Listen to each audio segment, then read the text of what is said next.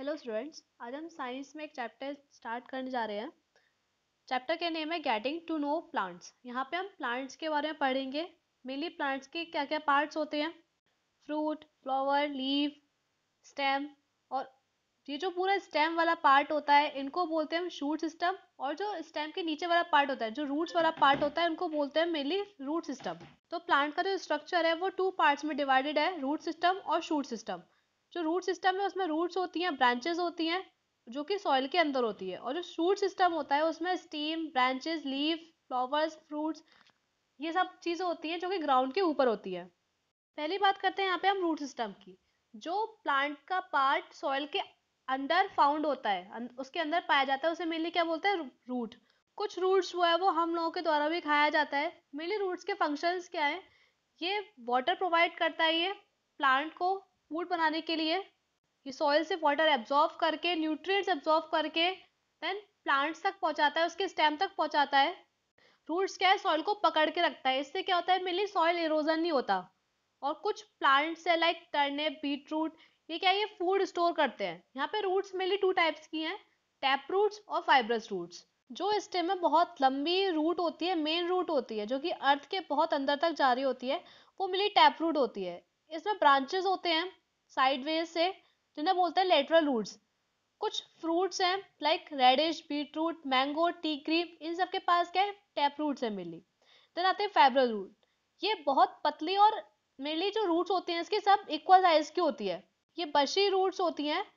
अब कुछ fibrous roots हैं, जैसे कि grass maize rice onion sugar cane इन सब प्लांट्स के मेनली क्या है? फाइब्रस रूट्स है। देन नेक्स्ट आता है शूट सिस्टम अब स्टेम जो है वो मेन शूट है प्लांट का। ये क्या है? प्लांट को ऊपर की तरफ़ रखता है अपराइट है। फ्लावर्स बियर करता है फ्रूट्स लीव्स ये सब चीज़ बियर करते हैं स्टेम पे।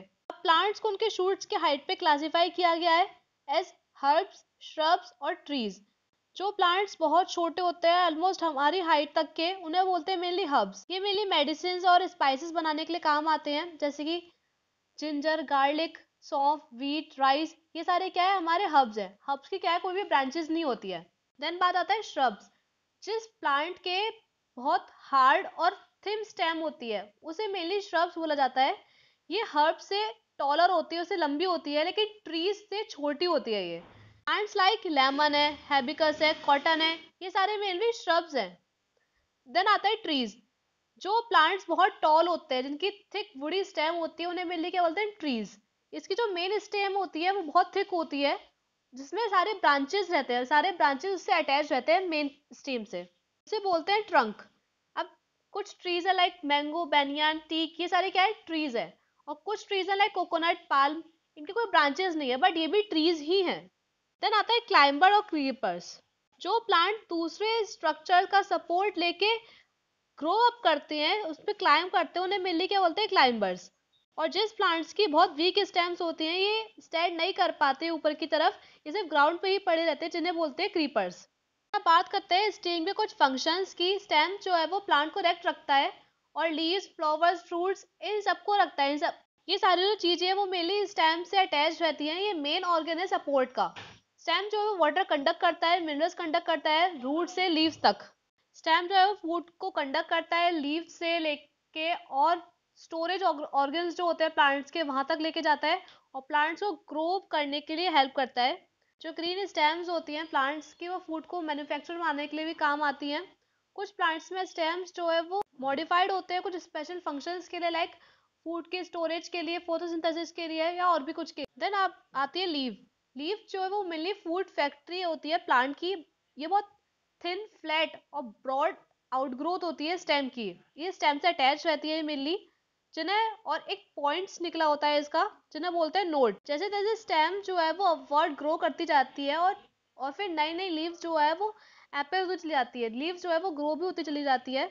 मोस्टली जो प्लांट्स की लीव्स होती है वो ग्रीन कलर की होती हैं।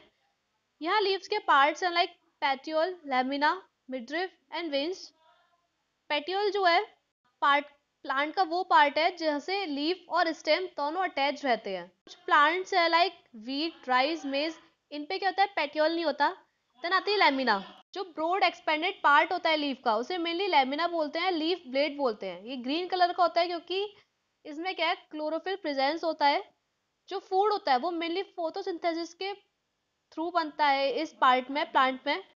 देन आता है मिड्रिप एंड वेन्स जो लीफ की स्टॉक होती है, जो कि स्टेम का ही पार्ट होता है, वो लीफ के बीच में ऐसे कंटिन्यूस होके चली जाती है, जिसे बोलते हैं मिड्रिप और मिड्रिप की जो ब्रांचेस निकली होती हैं वेन्स में कन्वर्ट होती है, जो कि बहुत सारा नेटवर्क बना रही होती है लीफ में, ये मेनली वाटर और मिनरल्स ट्रांसपोर्ट करने के लिए काम आता है लीफ में और फ़ूड भी कैरी करने के लिए काम आता है लीफ में और जो अरेंजमेंट है वे वेंस की लीफ में, उसे बोलते हैं वेनेशन ये मेनली टू टाइप्स की होती हैं रेटिकुलेट वेनेशन और पैडल वेनेशन कोई भी वेन्स एक नेटवर्क फॉर्म करती है लीफ के अक्रॉस मतलब मिड ड्रिफ्ट की दोनों साइड नेटवर्क फॉर्म करती है, उसे बोलते हैं रेटिकुलेट वेनेशन जैसे कि peepal China rose mustard mango इन सब की जो लीव्स होती है रेटिकुलेट वेनेशन की होती हैं।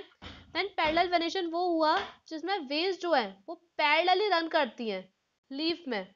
जैसे कि बनाना मेज बैम्बू शुगर केन इनकी जो लीव्स होती है, इसमें पैरेलल वेनेशन होता है। बात करते हैं लीव जो मूल्य क्या काम करती है, इसका जो मेन फ़ंक्शन है लीव का, वो फ़ूड बनाना है। लीव जनरली ग्रीन कलर की होती है, क्योंकि उसमें ग्रीन कलर सब्सटेंस प्रेजेंट रहता है, जिसे बोलते हैं क्लोरोफिल फ़ूड की जो मैन्युफैक्चरिंग बनने का प्रोसेस होता है लीफ में, वो मेनली सनलाइट क्लोरोफिल के प्रेजेंस में होता है, जो कि वाटर और कार्बन डाइऑक्साइड को यूज़ करके बनाते हैं। और इस प्रोसेस को बोलते हैं फोटोसिंथेसिस देन इस प्रोसेस के थ्रू ऑक्सीजन जो है, वो बाहर निकलती है। फ़ूड जो है, वो मेनली प्रिपेयर्ड होता है स्टार्च की फॉर्म में। तो फ़ूड को बनाने के लिए मेनली सनलाइट जो है, बहुत ज़रूरी होता है। देन आता है ट्रांसपिरेशन जो प्लांट्स हैं, वो मेनली वाटर लूज करते हैं लीव्स के थ्रू अपनी बॉडी को कूल cool रखने के लिए। और इस प्रोसेस को बोलते हैं ट्रांसपिरेशन उसके बाद इनकी जो ड्रॉपलेट्स होती है, वो कंटेंस होकर वाटर वेपर की फॉर्म में कन्वर्ट हो जाती हैं। इनकी जो ट्रांसपिरेशन है, वो लीव को कूल करने के लिए काम आता है। तो ये जो प्रोसेस है, ये मेनली हेल्प करता है न्यूट्रिएंट्स को ट्रांसपोर्ट करने के लिए प्लांट्स में। ट्रांसपिरेशन जो है, वो मेनली वाटर साइकिल को मेंटेन भी करता है नेचर में। देन आता है रेस्पिरेशन जो गैसेस का एक्सचेंज होता है प्लांट्स में लीव्स में। उसे बोलेंगे मिलियम रेस्पिरेशन लीव्स में जो है बहुत स्मॉल पोर्स होते हैं, जहाँ से वो कार्बन डाइऑक्साइड लेते हैं और ऑक्सीजन को बाहर निकालते हैं। नेक्स्ट पार्ट आता है फ्लावर फ्लावर्स जो होते हैं मेनली बहुत साइजेस के होते हैं, सब कलर्ड फ्लावर्स होते हैं। कुछ ऑर्गन्स होते हैं प्लांट रिप्रोडक्शन के। तो मेन पार्ट्स ऑफ़ फ्लावर्स के like sepals petals stamens pistil sepal जो है वो small green leaf like structure होता है, जो कि फ्लावर के बेस पे प्रेजेंट होता है। ये मिली पेटल्स को प्रोटेक्ट करके रखता है बर्ड स्टेज पे। जब फ्लावर्स बहुत छोटा है, जब ग्रो होता है, तब वो एक ग्रीन कलर स्ट्रक्चर से आउट कवर्ड होता है वो। उन्हें बोलते हैं मिली सेपल्स पेटल्स जो होता है वो फ्लैट ब्रॉड और एक कलर्ड स्ट्रक्चर्स होता है ये फ्लावर के अंदर जो प्रेजेंट होता है। इसमें बहुत सारे लेयर्स होते हैं, एक के ऊपर एक एक के ऊपर एक। ये मेनली सेपरेट होता है और जॉइंट भी होता है। दूसरे से। ये मेनली फ्लाइज और इंसेक्ट्स को अट्रैक्ट करता है। देन आता है स्टेमिन स्टेमिन जो है वो पेटल्स के अंदर रहता है। इसे अच्छी तरीके से देखा जा सकता है जब सारे फ्लावर्स की पत्ती हटा देते हैं, सारे पेटल्स हटा देते हैं। प्लांट का मेल रिप्रोडक्टिव ऑर्गन होता है फ्लावर का मेनली इसमें टू पार्ट्स होते हैं। एक long thin tube like structure होता है, जिसे बोलते हैं फिलामेंट और उसके ऊपर एक छोटा सा सेक लाइक स्ट्रक्चर होता है, उसके ऊपर अटैच रहता है, जिसे बोलते हैं एंथर और ये जो एंथर है, वो एक येलो पाउडरी सब्सटेंस प्रोड्यूस करता है, जिसे बोलते हैं पोलन द नेक्स्ट पार्ट आता है फ्लावर का पिस्टल ये फ्लावर का सबसे इनर मोस्ट पार्ट होता है. ये फीमेल रिप्रोडक्टिव ऑर्गन होता है फ्लावर का. ये टॉप पोर्शन में होता है मेनली जिसे बोलते हैं स्टिग्मा देन उसके बाद एक पूरी ट्यूब होती है, जिसे बोलते हैं स्टाइल और जो स्टाइल एंड्स होती है, बहुत थिक एंड ओवरी पे जो होती है, और ओवरी जो होती है, वो मेनली कंटेन होती है, उसमें होता है मेनली ओवरी में, बहुत छोटे छोटे बीड लाइक स्ट्रक्चर्स होते हैं, जिसे बोलते हैं ओव्यूल्स देन उसके बाद टॉपिक आता है पॉलिनेशन जो फ्लावर डेवलप्स होते हैं फ्रूट्स में, कब होता है? जब उसमें पॉलन ग्रेन्स प्रेजेंट होते हैं, वो एंथर से ट्रांसफर्ड होके स्टिग्मा में जाते हैं पिस्टिल में जो होता है, और इस प्रोसेस को बोलते हैं मेनली पॉलिनेशन पॉलिनेशन के बाद जो ओवरी होती है, वो ग्रो करती है फ्रूट की फॉर्म में, और सीड्स फॉर्म करती है. पॉलिनेशन जो है वो मेनली बहुत तरीके से होता है। कुछ एजेंट्स है पॉलिनेशन के, जैसे कि बटरफ्लाई जब बटरफ्लाई फ्लावर में बैठती है तो उसके जो पैर होते हैं, वो पोलन ट्रांसफ़र कर देते हैं। एंथर से ट्रांसफ़र कर देते हैं स्टिग्मा में। तो इसके थ्रू क्या होता है? पोलिनेशन प्रोसेस होता है और फिर न्यू फ्लावर और फ्रूट जनरेट होता है।